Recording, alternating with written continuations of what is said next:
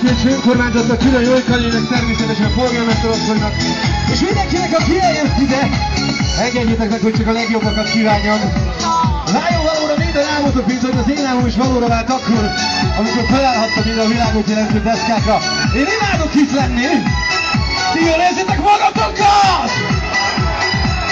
Összehozunk egy kis tapsot, egy igazi nyírségi tapsot, Mindenkire számítok, csak a legbátrabbak énekelnek úgyis vele, csak a